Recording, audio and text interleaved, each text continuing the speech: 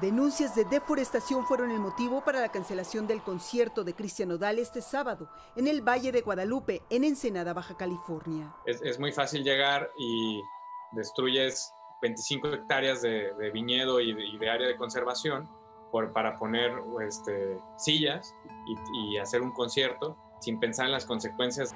Algo que el representante de la empresa que contrató al artista desmintió la noche del viernes. No quitamos la vid, no desembramos, no quitamos árboles, ni mucho menos. Que nuestra capacidad no es de 20 mil, 25 mil personas, como lo dice, nuestra capacidad máxima es de 7.500 personas. Es por este motivo que la Secretaría de Medio Ambiente se dio a la tarea de inspeccionar el predio, encontrando actividad reciente de desmonte, así como la presencia de maquinaria pesada, por lo que procedieron a clausurar el predio a pocas horas del concierto, por no contar con la autorización del cambio del uso de suelo. Más viña, menos rapiña. El sábado, cerca de mil personas entre productores vinícolas y pobladores de la zona marcharon pacíficamente con pancartas que decían sí a la agricultura, no a los eventos masivos.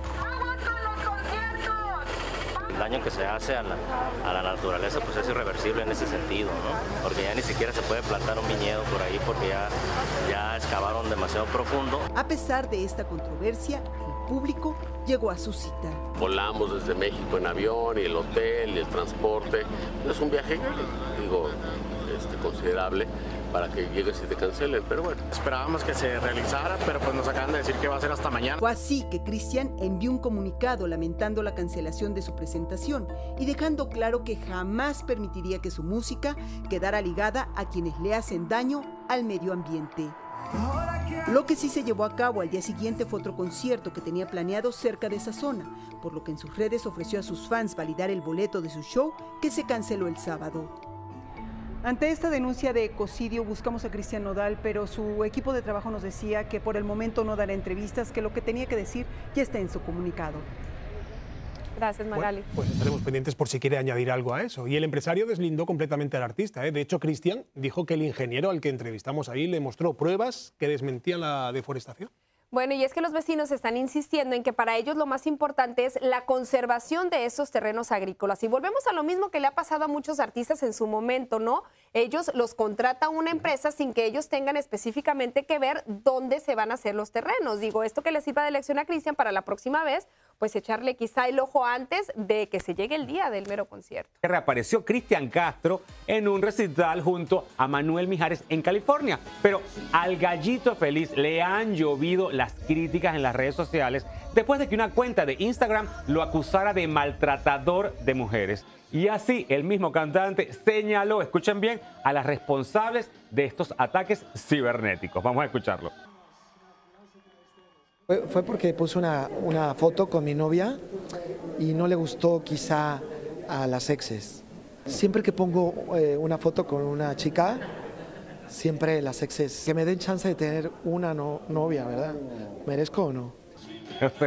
¿Para qué le echas más leña al fuego echándole culpa a la no diga nada. sí, pero bueno, es al mejor estilo Cristian Castro, que es porque sus exes lo celan con las nuevas novias que tiene. Es un tema muy serio, ¿eh? Un tema muy serio que no hay que dejar claro, en las redes Si ocurre, se denuncia. Claro, y bueno, y aparte de eso, bueno, obviamente Cristian siempre ha sido pues muy echador de broma, pero con esto no se debería bromear. Ahora bien, lo que está en boca de todos son las fuertes declaraciones que Alicia Machado ha hecho en contra de Marjorie de Sousa en la casa de los famosos. Presta atención a lo que dijo Alicia.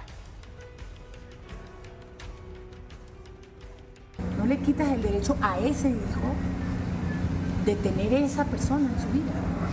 Eso, eso es un derecho del niño, ni tuyo ni del, del niño. Es que me abandonó, que te abandonó, qué ridícula. Con una situación en mi vida. de ese tipo, güey, qué feo. Pondría yo a mi hija en esas circunstancias. Por no querer que el tipo pise su casa. No puede ser que tu, que tu egolatría y tu, te, te, te, enferme de esa forma. Porque eso es lo que ella tiene, no tiene nada más. Perdón. Total, igual me detesta, así que Wow. Wow. No, bueno, cabe recalcar que Marjorie no se ha pronunciado al respecto, pero las declaraciones son contundentes. Mira, la verdad que aquí hay muchas cosas que debatir, ¿no? Porque por un lado está, no justifica nada que estés hablando mal de otra persona, pero creo que a ellos ya llegó el punto de que se les está olvidando que todo mundo aquí afuera los estamos escuchando. Sí. Y todo lo que dice. Ahora, yo me pregunto, ¿será que Alicia entonces sí deja que su hija tenga contacto con su papá, con el papá de la niña?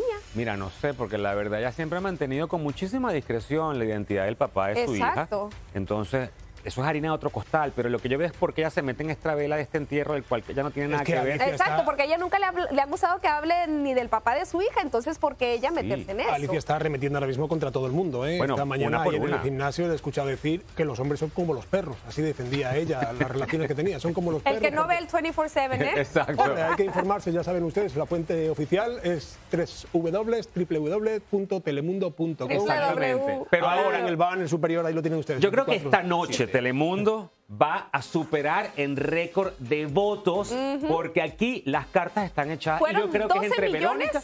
La vez pasada fueron 12 Ajá. millones. Aquí debemos ir por 20.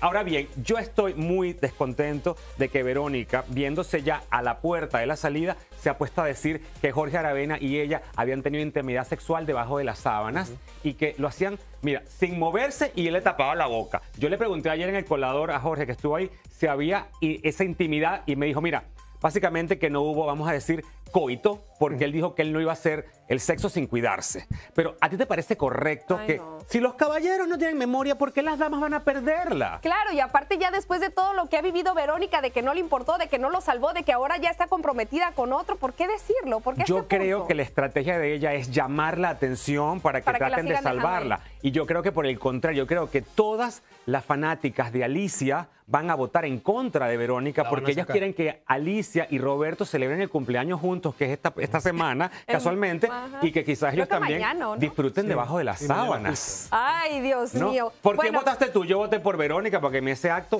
me desagradó Yo muchísimo. también voté por Verónica, tengo que ser honesta. Estamos de acuerdo. Tú nunca votas. Ay, Yo Antonio, qué siempre, diplomático. venga. Ahí tienen ustedes para votar los nominados. Le pueden sacar una fotografía al código QR y va mucho más rápido todavía eso. Bueno, y no se pueden perder esta noche la Casa de los Famosos No. porque de verdad que va a estar cardíaco. Vamos a ver a Sí. quién se va definitivamente. Y si no, pues si se va Roberto, que se agarre también porque acá afuera no, le van no, a dar duro. Hace falta el encuentro entre Verónica y Aravena fuera de la casa ya. Eso hay que verlo. Con tanta emoción, hay que vivirlo como lo cuenta Ronder. Gracias, Ronder. A ustedes.